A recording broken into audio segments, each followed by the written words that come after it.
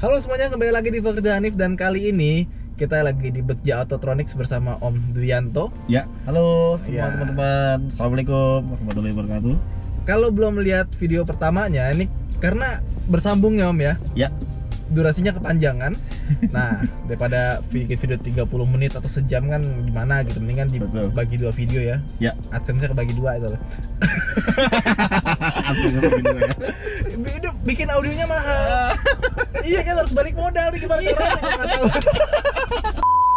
Ini audio eh, enaknya kalau kita modifikasi audio itu tuh bisa dipakai lama. Betul. Artinya kita mau ganti-ganti mobil, mau sampai 10 Ya. tahun, 20 tahun, tinggal dipindah aja gitu. Ya, betul. Karena ya teknologi speaker ampli ya gitu-gitu aja dari dulu ya. Betul, Paling cuma prosesornya yang Betul. ada update-update terus. Ya, ya, Jadi kalau mau update ya update head unit, betul. update prosesor, Ya, speaker-speaker segala macam nggak perlu nggak kan? perlu lagi. Nah, Betul. kabel pun juga sama ya. Betul. Makanya saya selalu sarankan sama teman-teman kalau untuk membeli perangkat audio itu jangan yang eh, ya mungkin budgetnya saya cuma ada 3 juta terus dipaksain untuk 3 juta full keseluruhan Hmm. itu malah kalau menurut saya jadi buang duit Mas Ridwan. Kenapa? Karena eh, kita nantinya pasti akan mendengarkan audio yang lebih dari itu, Oke. kayak gitu. Ya, mungkin buat si pemula awal-awal mungkin seperti itu gitu loh. Tapi setelah kita mau mencari perangkat audio yang bagus, belilah yang bagus.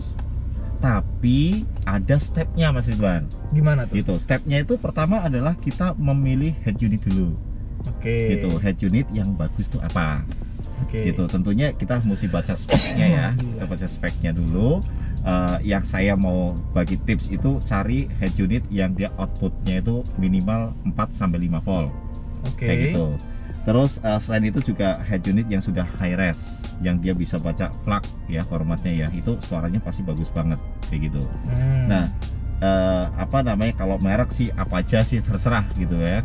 Terus eh, selain itu juga setelah head unit kita pasangin, kita akan memilih yang namanya speaker dulu. Kayak Oke, gitu. speaker dulu ya berarti Speaker ya. dulu. Speaker kita pilih karena apa? Dengan memakai head unit otomatis kalau beli speaker kan langsung bunyi. Hmm. Kan gitu. Nah. bener. Nah, eh, kita bisa ngebedain speaker yang langsung dipasang ke head unit sama nanti pas kita membeli amplifier Oke. kayak gitu. Jadi langkah ketiga tuh Tapi membeli nggak yang amplifiernya. amplifier 20 juta juga ya kan? Oh, ya Itu buat kalau kalau kalau Oke oke oke, lanjut lanjut lanjut. Nah terus eh, setelah amplifier nanti kita bisa ngebedain oh speaker dipasang ke eh, langsung bypass ke head unit seperti apa terus nanti eh, beli amplifier ditambahkan amplifier pasti suaranya akan berubah nah perubahan itu yang kita harus tahu Hmm. Gitu loh. jadi stepnya tepat gitu Mas Ridwan nah setelah amplifier itu kita eh, apa namanya mencari yang namanya subwoofer. Hmm. gitu. Subwoofer udah. Terus nanti kita cari lagi amplifier yang buat eh, ngedrive subwoofernya. Nah setelah itu baru kita membeli perangkat yang namanya prosesor. Oh bukan prosesor dulu ya? Eh, kalau menurut saya head unit dulu. Enggak maksudnya head unit standar. betul. Ya kan? Biasanya wah pengen biar stagingnya bagus. Ya. yang lebih itu beli prosesor yang udah sama eh, apa namanya prosesor udah sama ampli Iya, betul. sama subwoofer ya itu sebetulnya yang paling pahe itu itu ya ya tapi betul. kalau buat jangka panjang artinya kita mau nyicil beli audio ya yang bikin yang kualitasnya bagus Seperti itu malah terakhir Betul. Jadi yang tadi Mas Ridwan bilang itu betul. Jadi sekarang ini kan sudah ada prosesor yang built-in power. Mm-mm. Nah, prosesor built-in power itu sebenarnya adalah satu eh, apa ya? Eh, paling satu tercepat dan satu trik. termurah Ya betul. Satu konsep yang dia itu tidak mahal tapi bisa menghasilkan suara yang bagus dengan tatanan suara yang bagus. Karena di dalam prosesor itu nanti kita bisa eh, setting crossover independen, time alignment terus time alignment-nya juga independen terus eh, apa namanya uh, fase, slope, Ya. frekuensi. Pokoknya jadi ada stagingnya lah ya. Betul. Jadi Yang- udah bisa menikmati staging. Iya, kalau udah biasa pakai yang ada prosesornya, itu kerasa banget. Aduh, kok suaranya di bawah ya. Padahal dulu gua nggak pernah mikirin yang kayak gitu. Iya, loh. Udah pasang prosesor semua, aduh, kok di bawah ya suaranya nggak enak ya. suaranya kok di kaki Iya, gitu ya. itu itu nyebelin sih maksudnya jadi Iya. jadi kuping kita tuh punya standar sendiri gitu loh. Betul. Ketika betul. standarnya turun itu jadi jadi risih gitu ya. Iya, iya, betul. Jadi memang konsep yang sederhana itu membeli uh, prosesor built-in power. Hmm. Tetapi kalau kita membeli prosesor built-in power itu kan terbatas dengan wattnya. Benar. Kan gitu. Nah, kalau kita mau upgrade lagi dengan uh, perangkat yang lebih up lagi, otomatis yang ini harus dijual dulu, Mhm. baru nanti kembali lagi Iya. membelinya pasti head unit Betul. juga. Jadi teman-teman kalau beli audio itu sebenarnya nggak rugi karena bisa dijual lagi. Yes, Ya, betul. Jadi duit parkir ya. Iya, betul. Ini ini kalau misalnya menang, berarti ini setnya bisa dijual lagi dengan harga lebih tinggi mungkin. Em, kalau kalau itu jangan dijual mas, itu jangan, menjadi ya. suatu kebanggaan buat Oh iya benar. Enggak misalnya. Oh gitu bisa, kan. kalau Iya. ditawarnya mahal, nggak apa-apa gitu Ah. jual. Benar juga. Ini pernah menang audio loh. Oke, lanjut. Ya. Nah, eh, kalau misalkan kita mau ikut kontes audio, settingnya itu gimana sih? Apa ada standar khususnya? Ya, Eh, kayak misalnya audio-audionya pakai noise apa? Ya. Atau pakai audio disediain dari sana? ya, Atau jangan-jangan kayak kontes ujian matematika gitu ya? Ya. Soalnya nggak dikasih tahu gitu. Ya, Coba keluar betul. lagunya ini gitu. ya. Jadi sebenarnya kalau kita konsepnya mau ikut kontes, yang perlu kita perhatikan ter- terlebih dahulu adalah eh, kontesnya tuh mau ikut kontes apa, Oke. kan gitu. Asosiasinya apa nih, gitu loh. Hmm. Yang akan kita ikutin ini kan IASKA. Berarti kita harus mengikuti rule-nya si IASKA juga. Oke. gitu. Di dalam satu kontes itu eh, nanti akan ada score sheet penilaiannya, penilaian untuk suaranya yang tadi saya bilang. Di situ ada staging, ada imaging, terus ada tonal akurasi, terus ada eh, apa namanya eh, tonal balance-nya juga, terus ada sampai ke noise-nya juga, jangan sampai ada storing. Itu semuanya nanti akan ada score sheet-nya, kan begitu. Nah, tentunya di dalam menilai suara itu juga ada standarisasinya Hmm. ada tata caranya kan begitu. Nah, kalau kita mau ikut kontes itu kita harus ikut yang namanya competitor training. Competitor training itu adalah membedah asosiasi itu eh, dia menciptakan rule-nya seperti apa. Jadi kan kalau kalau kita mau ikut IASKA kan ada CD IASKA-nya tuh Hmm. kan gitu. Nah, pada saat kita ikut kompetitor training, otomatis kita akan dijelasin ini untuk menilai imagingnya pakai lagu yang track nomor sekian, kan Hmm. gitu. Posisinya itu di sini, di sini, di sini, di sini, kan gitu. Terus di track nomor 10 misalnya, ini penyanyinya cuma ada dua orang, misalnya begitu. Atau track nomor 11 penyanyi dua orang, itu mesti center di tengah, kan gitu. Yang lucunya lagi adalah speakernya itu ada di kanan dan kiri kita. Tapi bagaimana caranya membuat suara itu benar-benar seperti live konser dia harus di tengah-tengah kaca Oke. Itu. Makanya ini ada biru-biru ini. ya betul. Makanya ini ada biru-biru. Ini adalah untuk nye- saya pada saat saya nyeting saya tandain. Ini supaya eh, tata letaknya itu tepat.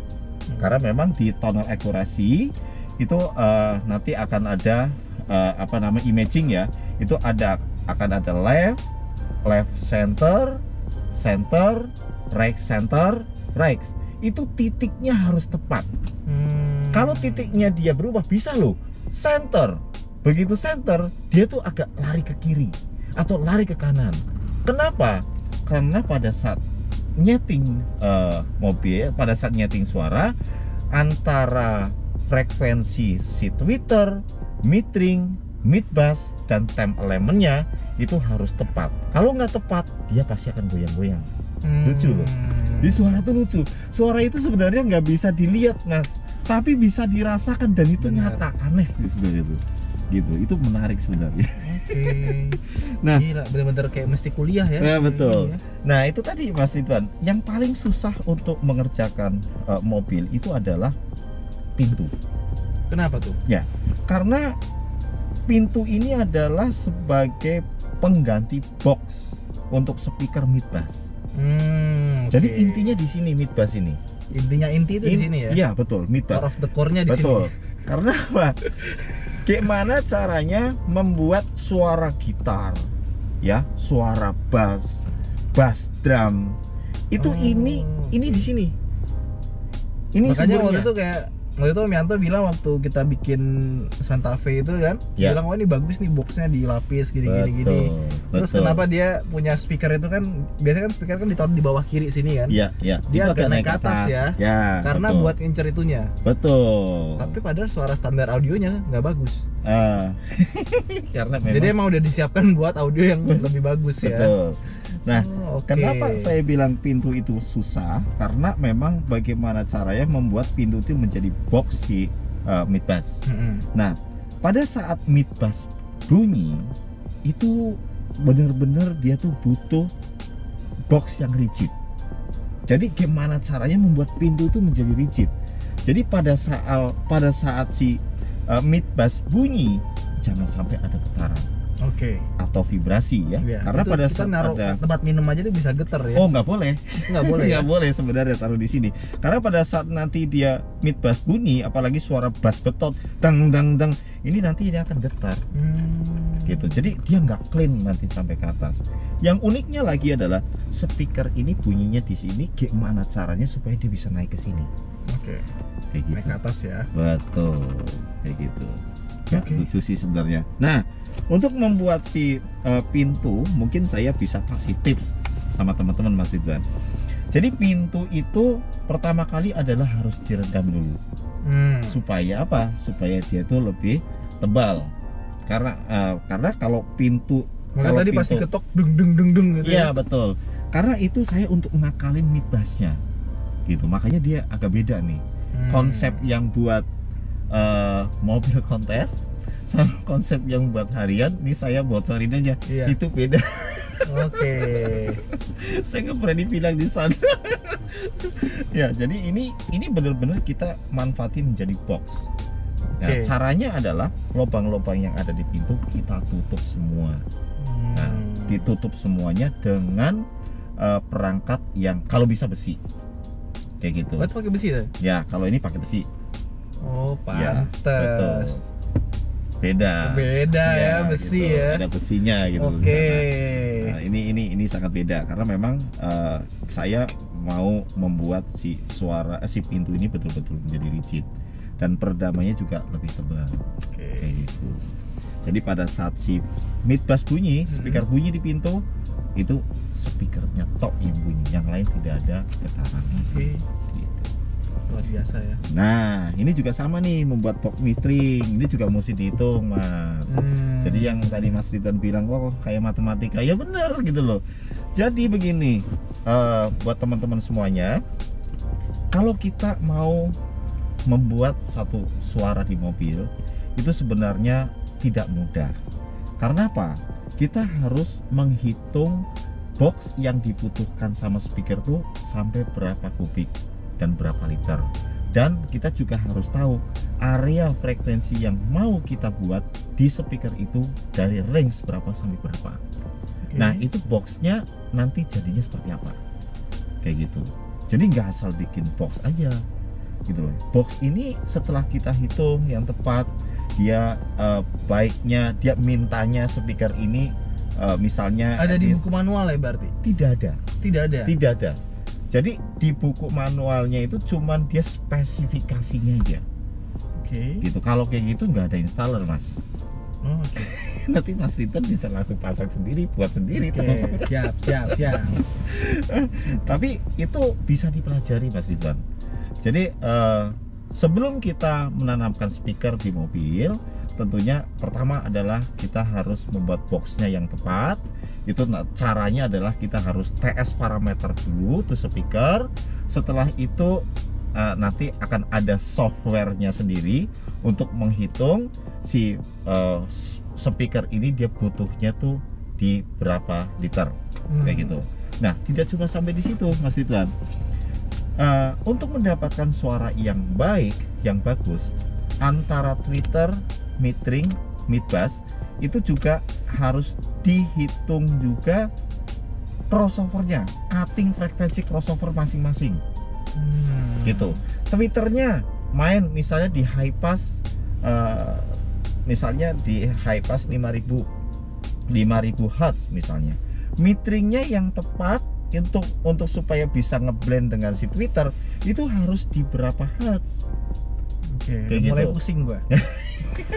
itu juga harus dihitung Oke. TS parameter lagi mas ribut berarti ini bener-bener serumit itu ya. ya betul ada softwarenya kok mas itu Oh, ada softwarenya. ada ada software untuk menghitung eh, si speaker itu yang baik tepatnya itu antara Twitter dan metering apa pun lah ya Mhm. ini harus main di frekuensi berapa dan slope-nya harus di berapa dB terus nanti eh, pas jarak jarak antara fase dan eh, apa namanya itu sampai berapa derajat.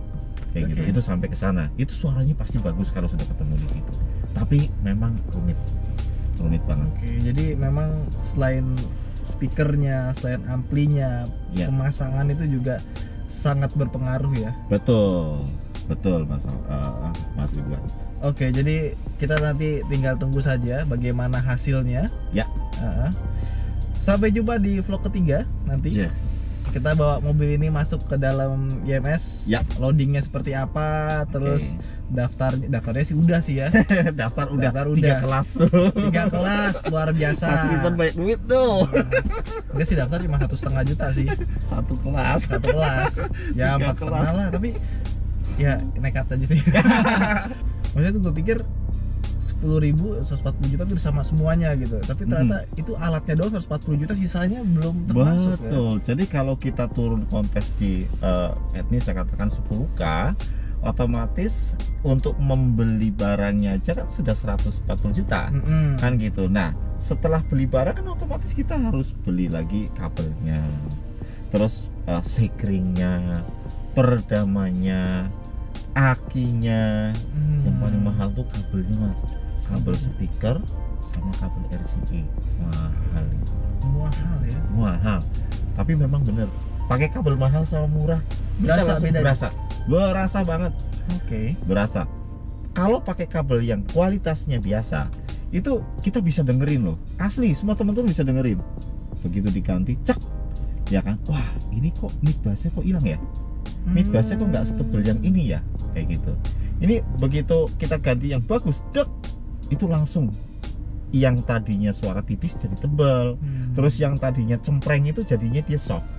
Kayak gitu. Oke. beda beda banget. Tapi ini emang suara audionya sih bagus banget sih. Merusak standar ya.